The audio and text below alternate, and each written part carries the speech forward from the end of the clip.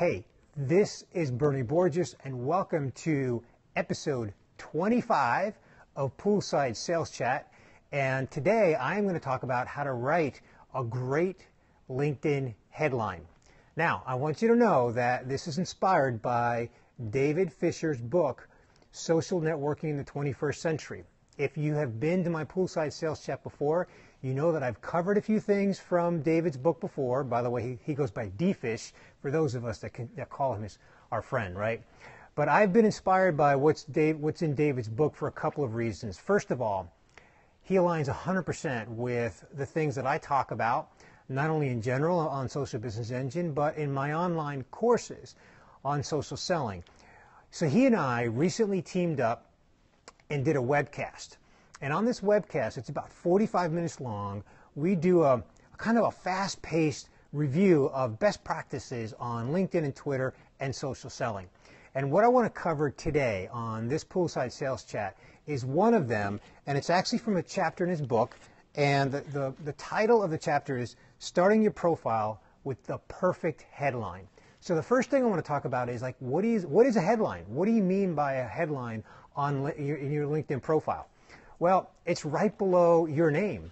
That field, that sentence, the word right below your name on your LinkedIn profile, that is your headline.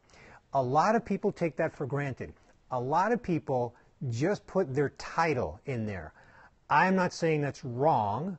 However, you have to also understand that people use LinkedIn in some cases, especially B2B buyers that are conducting research. They use LinkedIn as a search engine. There's that search bar that's at the top of LinkedIn. And people will go into that search bar and they'll type in keywords. So what you want to think about is writing a headline that is compelling, attention grabbing, and is consistent with how you help your customer. Now, there's a point that he makes in here that's really, really interesting that talks about how uh, studies show that people spend more time reading the headline on your profile than anything else. Now, frankly, that's a little shocking to me, only in that if you don't have a killer headline that speaks to what you do and who you do it for, then you could be losing out. So I want to give you a couple of examples that are both from David's book and also just a few of, of my own examples that really speak to writing a headline on LinkedIn that can be compelling and attention grabbing. I also want to point out that your headline is one of three major elements on your LinkedIn profile. I cover all three of them in my online social selling course. You can get more information on that at socialbusinessengine.com. So on the headline, I want to give you a few examples that are right out of David's book, Social Networking in the 21st Century. So here's a few examples helping Fortune 500 companies solve complex personnel issues, helping medical professionals manage and grow wealth, helping our sales team deliver amazing customer experiences. Now, do you see the common theme in these headlines? There's no job title, and they start out with a verb. So I really like the, the concept, the strategy of starting your headline with a verb. So in my case, for example, my headline is transforming B2B companies through social training, social media, and a few other things. I'm a podcaster, that kind of thing. But I start out with transforming B2B companies. So I start out with the verb and I identify exactly who I do it for, and then I give a little more detail on how I do that.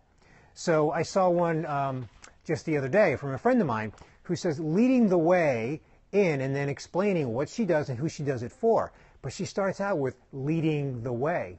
So think about how you can write the title, the headline that goes into your profile right below your name.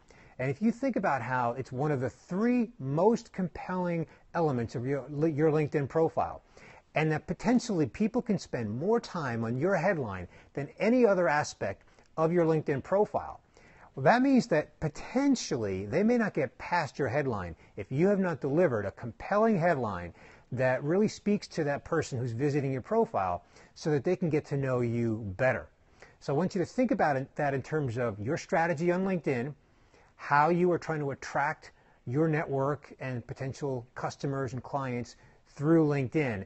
that headline is the first of the three most important elements to your profile.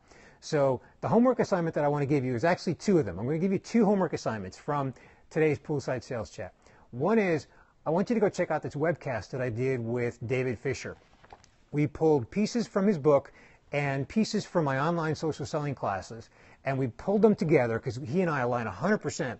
And we did a 45 minute webcast, and we did it fast. So there's a lot of material that's covered there, and obviously you can go watch that webcast as often as you want to just catch everything. So that's homework assignment number one for you is to go watch that webcast. Again, right there at the homepage at socialbusinessengine.com.